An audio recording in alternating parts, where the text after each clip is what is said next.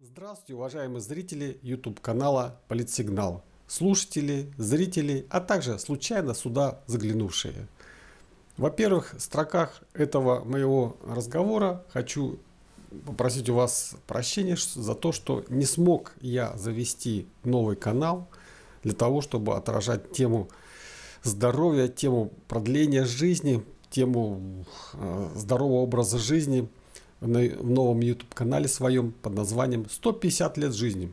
Хорошее такое название, мне очень нравится. Но вот не получилось. Почему-то YouTube не дает такой возможности завести, завести пятый канал.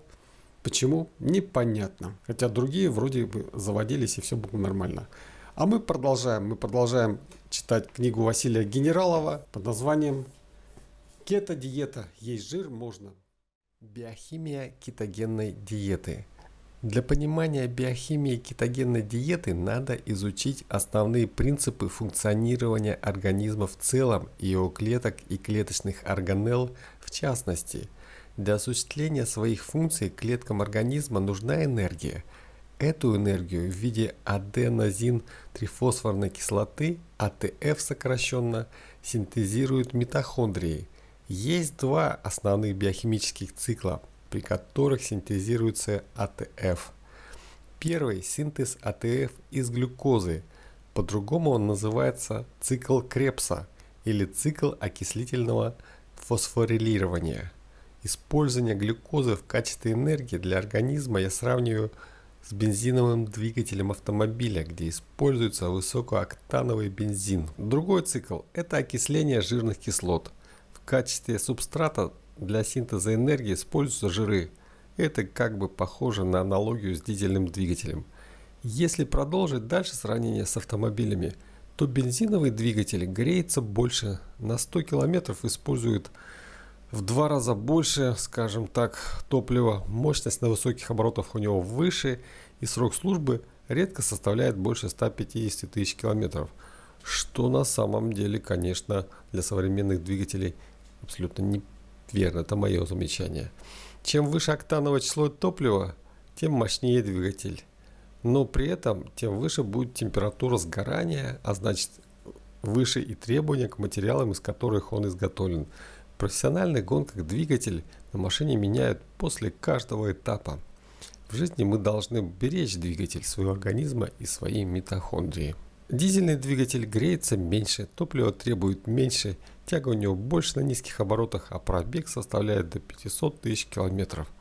Ну почему же и миллион километров можешь пробежать? К слову, уже много лет все автомобили в моей семье с дизельными двигателями. Дизельные автомобили в гонках не участвуют, но именно дизельные двигатели используются в промышленных автомобилях, грузовиках, автобусах, тракторах. То есть там, где надо ехать долго, вести тяжелый груз и желательно мало ремонтироваться. В человеческом организме есть два варианта энергетической установки. И мы можем произвольно переключать свой организм с углеводного на жировой режим энергообеспечения.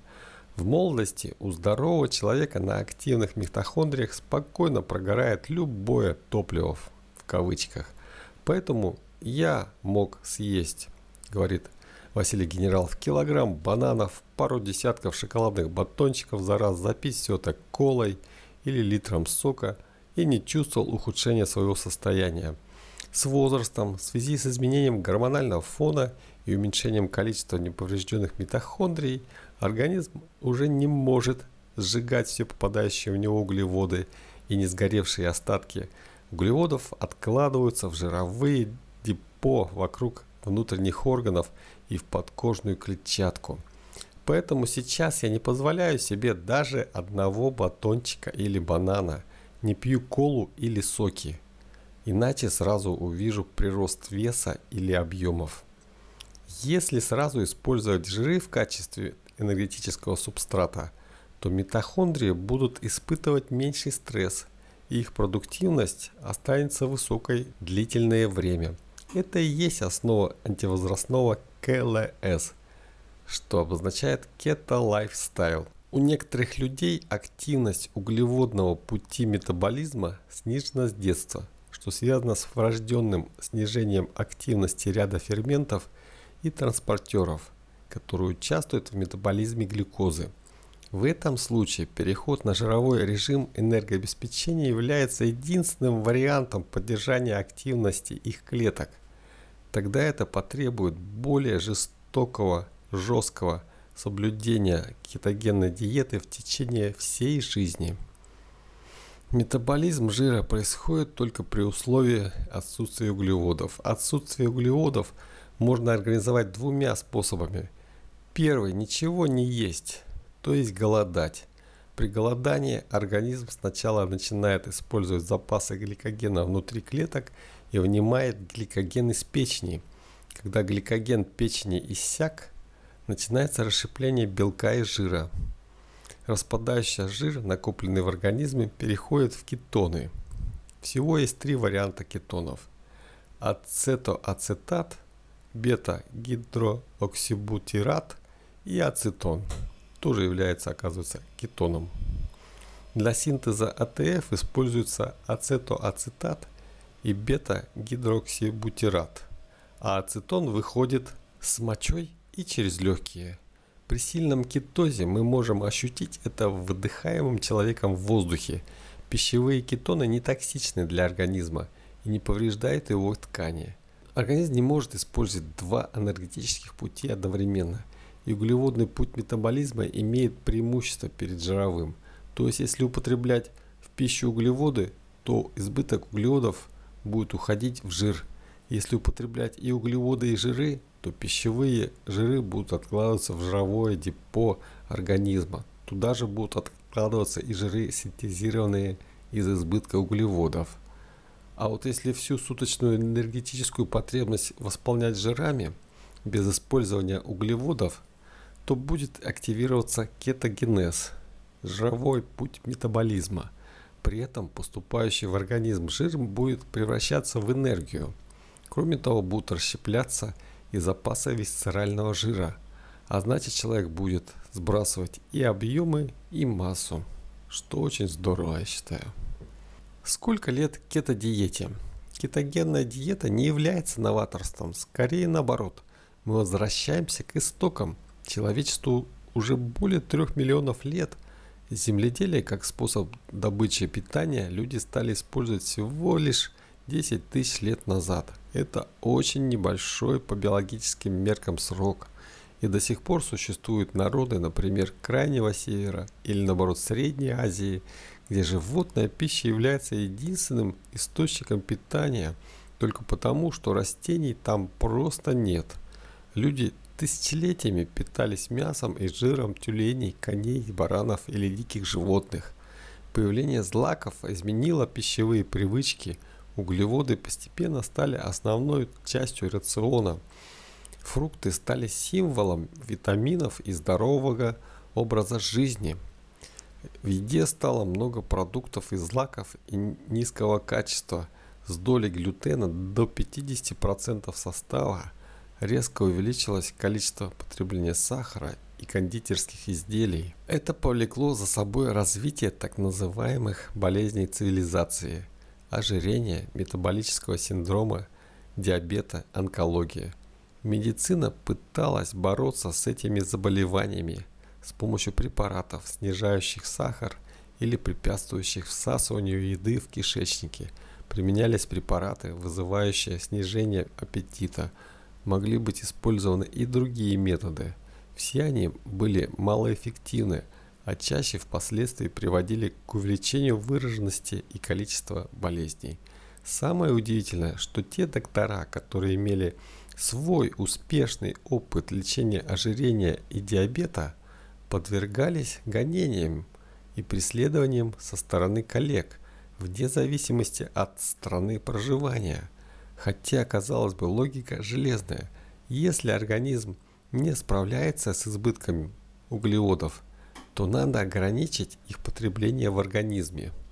И это действительно работает, однако входит в противоречие с интересами фармацевтических организаций и большого медицинского бизнеса. Практика контролируемого врачами использования кетогенной диеты составляет уже более 100 лет. Кетогенная диета показала свою эффективность при снижении веса, при лечении ожирения, метаболического синдрома, диабета, ревматоидного артрита, подагры, эпилепсии, аутизма, шизофрении, депрессии и многих других заболеваний. Если вы в душе новатор, считайте, что кетогенная диета – это инновационный вариант питания. Если вы консерватор, то кетогенная диета для вас это самый настоящий древний природный рационный питания. Глава 6. Принципы кетогенной диеты. Кетогенная диета сочетает в себе три основных принципа. Это метаболический, элиминационный и сублиментационный. Суть метаболического принципа – поддержание необходимого энергетического баланса. Кетогенная диета – это нормокалорийная, в зависимости от возраста, пола и уровня физической нагрузки определяется индивидуальное количество калорий, которые необходимо употребить в сутки. Если калорий употреблять больше необходимого, то начинаются процессы накопления энергии в организме, а энергия накапливается или в виде гликогена, или в виде жира. При определенных видах физических нагрузок мы можем стимулировать рост мышечной массы, если это нам, конечно, необходимо – в любом случае, весь избыток калорий мы будем ощущать в виде прироста веса. Кетогенная диета – это рацион, в котором количество калорий соответствует суточной потребности человека. То есть мы не создаем дефицит калорий и не пытаемся съесть меньше, чем сжигаем. Поэтому при кетогенной диете нет ощущения голода. Как я уже сказал, в повседневной жизни – большую часть того, что мы едим, составляют углеводы, иногда до 90% рациона. Чтобы в этом убедиться, просто зайдите в супермаркет и оцените, что люди кладут в свои тележки. Все это потом они съедают. И это будут сплошные углеводы. Там же в универмаге вы можете посмотреть, как выглядят люди, покупающие только углеводы вряд ли их размер и вес будут близки к норме здорового человека. При кетогенной диете 70% суточной потребности в калориях будут покрываться за счет жира. Да, именно так. 70% за счет жира. Углеводы будут составлять лишь 10% рациона, а при некоторых вариантах вообще отсутствовать. Это всего лишь около 50 граммов углеводов в сутки – чтобы быть еще нагляднее, представьте, вес одного яблока около 200 грамм. При этом в 100 граммах яблока содержится 14 грамм углеводов. Значит, в одном яблоке содержится примерно 28 грамм углеводов. То есть, съев одно яблоко, мы обеспечиваем 2 трети нашей суточной потребности в углеводах. Получается, если мы съели яблоко больше никаких углеводов есть уже не нужно. Иначе это перекроет суточную потребность в углеводах, а если углеводов будет больше 100 грамм в сутки, то никакого кетоза и расплавления в кавычках жира мы не получим. Когда мы говорим, что 70% суточных калорий будем набирать из жира, то перед глазами может возникнуть что? Неаппетитная картина поедания кусков сала или сливочного масла. А на самом деле все, конечно, не так. Баранина, к примеру, это жир и белки. На 100 грамм продукта мы имеем 15 грамм жира и 16 грамм белка. Углеводов в баранине нет. Примерно такие же пропорции в осетрине, где на 100 грамм продукта приходится 15 грамм белка и 10 грамм жира.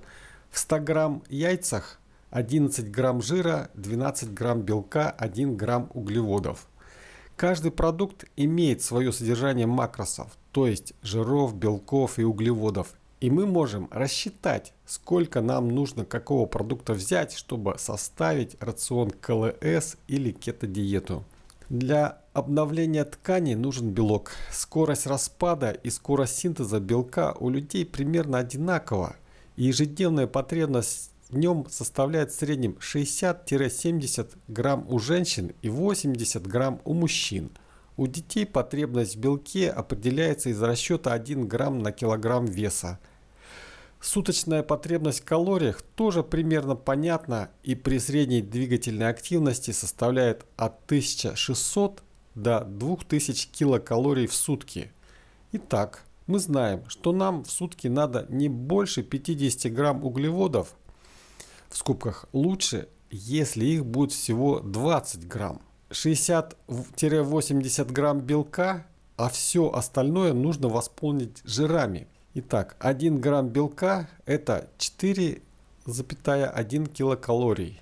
1 грамм углеводов тоже 4,1 килокалорий. 1 грамм, а 1 грамм жира 9,3 килокалории. Белками мы покрываем 320 килокалорий.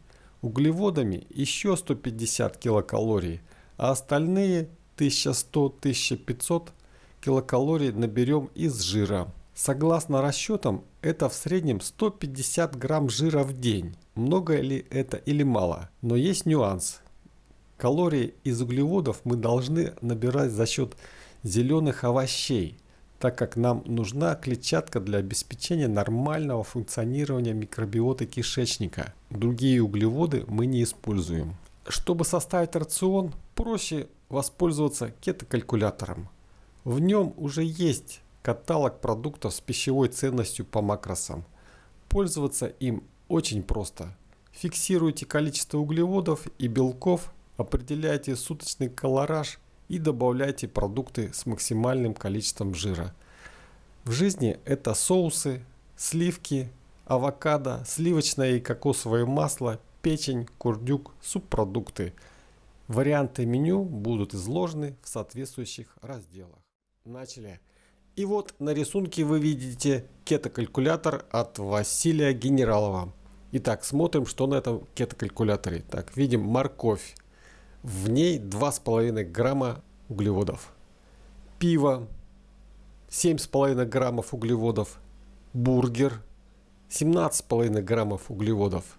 Апельсин 22,5 граммов углеводов. Красное яблоко 25 граммов углеводов. Долька арбуза 35 граммов углеводов. Кола пол-литра 55 граммов углеводов. Вино 0,7 литра 110 граммов углеводов, если выпьете всю бутылку. Итак, знайте, где что находится. Продолжаем дальше. Варианты кетогенной диеты. Чем КЛС, Lifestyle, отличается от лечебных рационов?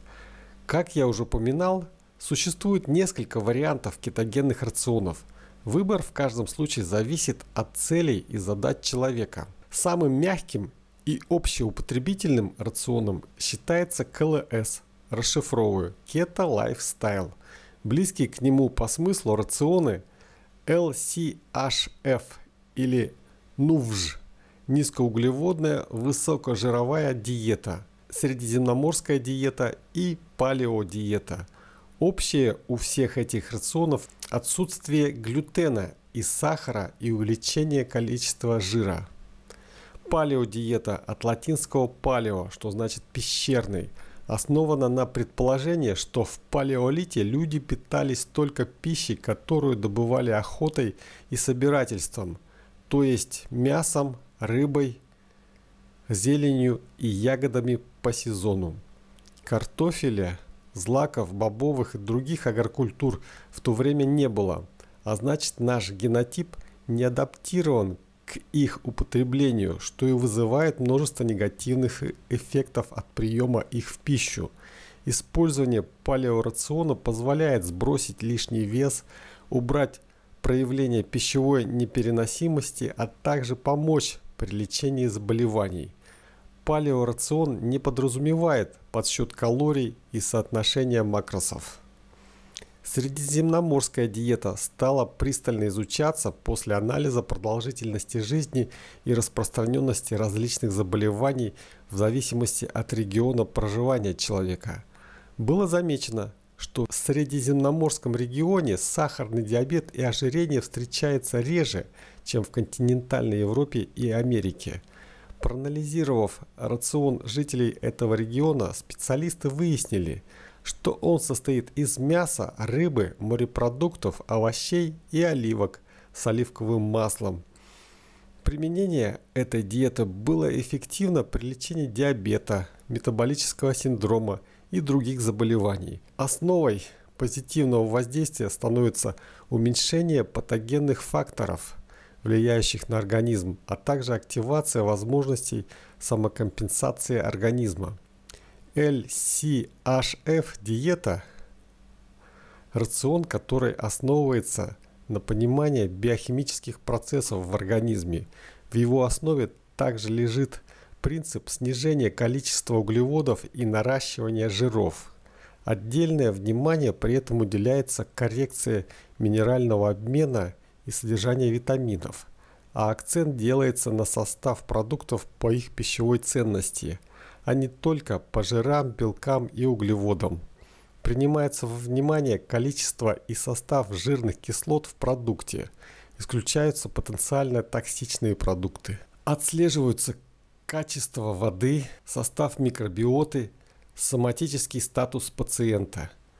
КЛС Keto Lifestyle – это новый этап совершенствования кеторациона. При КЛС мы большее внимание уделяем особенности биохимии индивидуума, исследуем и компенсируем состояние его витаминного, микроэлементного и гормонального баланса, оцениваем уровень воспаления, наличие сопутствующих соматической патологии, генетические особенности метаболизма, усвоение различных пищевых составляющих.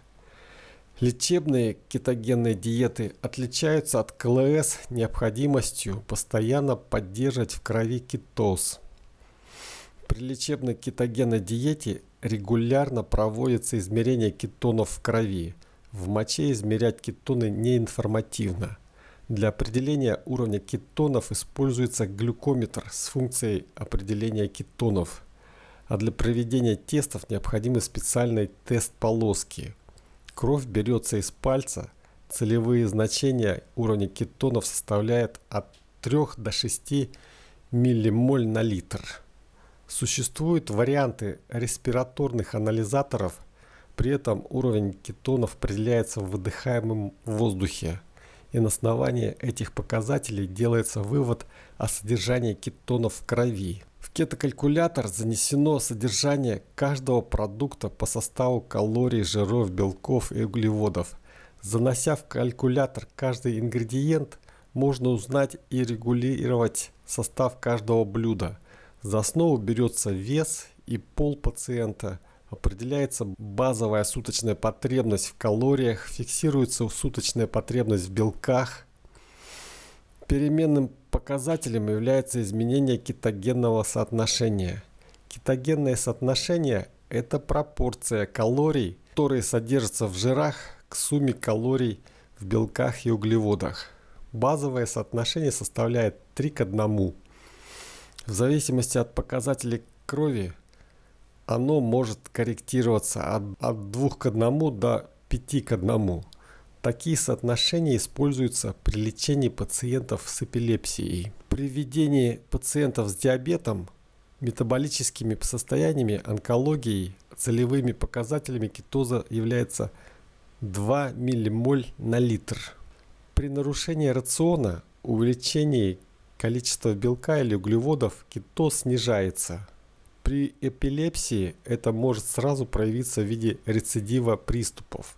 При нервно-мышечных дегенеративных заболеваниях снижением мышечной силы, нарушением координации, нарастанием спастики, судорог, в зависимости от стартовой картины заболевания. При КЛС или других профилактических рационах выпадение в кавычках из кетоза не приводит к резкому изменению самочувствия. При хроническом нарушении рациона вы просто вернетесь к состоянию, характерному для повседневного углеводного типа питания. Элиминация – это исключение. При кетогенной диете из рациона исключаются все опасные для здоровья продукты. Цель элиминации – уменьшить нагрузку на кишечник и иммунную систему, снизить уровень воспаления – Степень элиминации зависит от индивидуальных особенностей организма и уровня мотивации пациента. Соблюдение элиминационного принципа диеты означает устранение из рациона всех тех продуктов, которые наносят вред нашему организму. Например, повышает уровень воспаления. Это глютен, казеин, соя, а также продукты, содержащие лектины. Также стоит уменьшить количество потребляемых углеводов. Существует несколько вариантов элиминации при кето-диете и они имеют разные названия. Общее у этих рационов то, что в основе блюд лежит жир, но по составу продуктов они сильно различаются. Основным вариантом кетогенной диеты является стандартная кето-диета, так называемая СКД, стандартная кето-диета.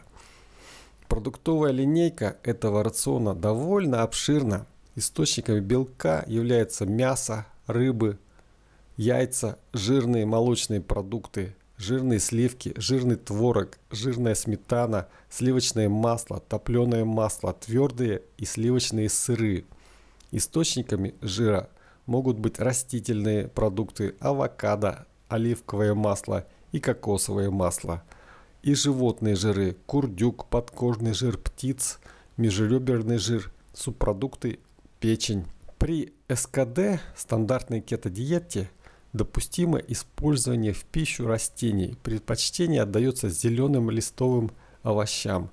Допустимо употребление небольшого количества кустовых ягод – черника, голубика, малина, клубника, брусника. Посленовые, соевые и бобовые культуры строго исключаются из рациона. Вот так.